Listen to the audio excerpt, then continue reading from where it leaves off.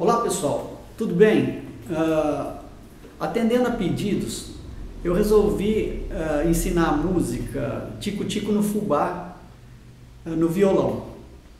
Então eu quero convidar vocês aí a participar desse, dessas aulas. mas para isso, nós vamos tocar, nós vamos aprender essa, o Tico Tico no Fubá da seguinte maneira: nós vamos dividir em várias partes. E nós vamos tocar ela bem lento. Nós não vamos sair, aprender para sair tocando rápido, nada disso. O segredo de tudo em aprender bem, a tocar bem uma música, não é procurar tocar rápido no começo. O segredo é tocar lento.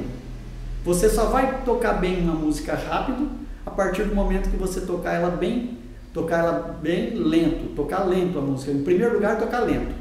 Depois, para tocar lento, é claro, né? Tem que estudar, treinar bastante, tem que decorar bem a, a, a melodia, tem que decorar bem a música e depois vai tocando até sair quase natural, sair quase natural, sem muito esforço.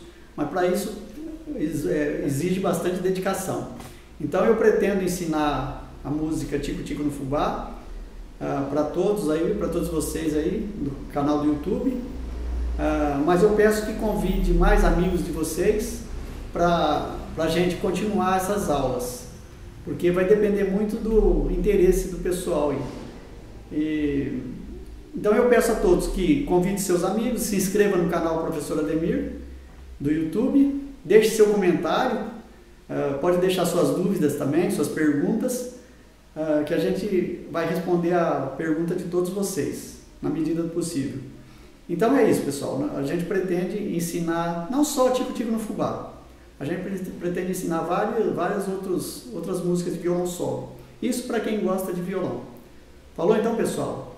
Então convide seus amigos a participar dessas aulas que eu estou pensando em ensinar aqui no YouTube. Falou então, pessoal? Então até mais.